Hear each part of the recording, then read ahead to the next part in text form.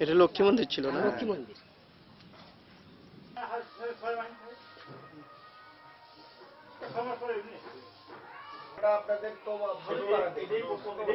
আমাদের আমাদের জন্ম থেকে এটাই প্রথম। গরু নিয়ে এসে গেছে। আর একজন মুসলমানের লোক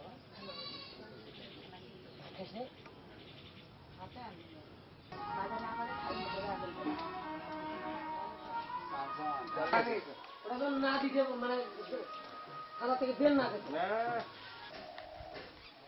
মনে করো ভাঙার পর ওটা দরজাটা হাতত করে ভাঙিয়ে নিয়ে এসে এটা ফেলে যাচ্ছে কুমাতেই মনে করেন আগে পিছন থেকে তো আট দশজন আসে করছে হারি রে বাপ পুরে বাপ পরির চোখে সঙ্গে চোখে।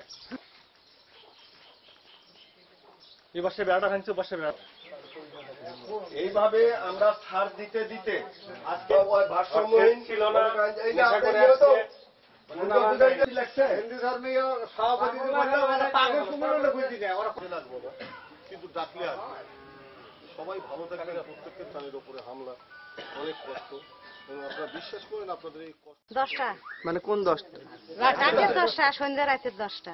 আমরা তো শুয়েই নেই বসে আছি। হ্যাঁ, কারণও সেই টাইমে গেছে।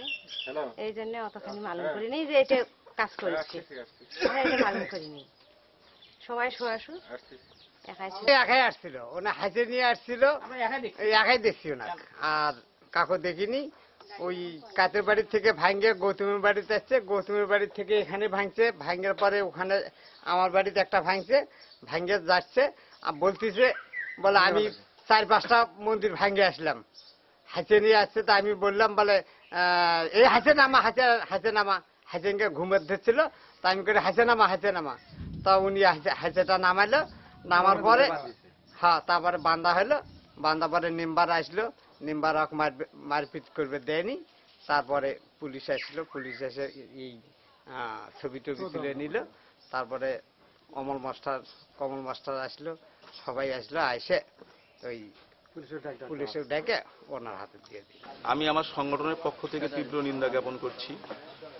আর এ ব্যাপারে আমরা একটি প্রশাসনিক তদন্তর মাধ্যম দিয়ে এর সুষ্ঠু তদন্ত আমরা প্রত্যাশা করছি।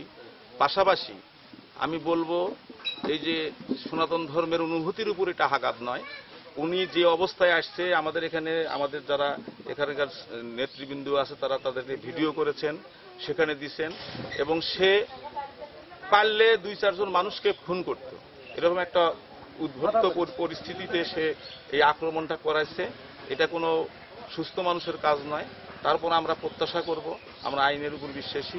যদি পুলিশ প্রশাসন গোবিন্দগঞ্জ এবং গাইবান্ধা প্রশাসন যদি এটা বিহিত না করে পরবর্তীতে আমাদের সংগঠন বাংলাদেশ পূজা উদযাপন পরিষদ সহ তেত্রিশটি যে সংগঠন আছে আমাদের ঐক্যজোট এই ঐক্যজোটের মধ্য দিয়ে এই হামলার তীব্র প্রতিবাদ স্বরূপ আমাদের নিয়ম শৃঙ্খলিতভাবে আন্দোলন অব্যাহত।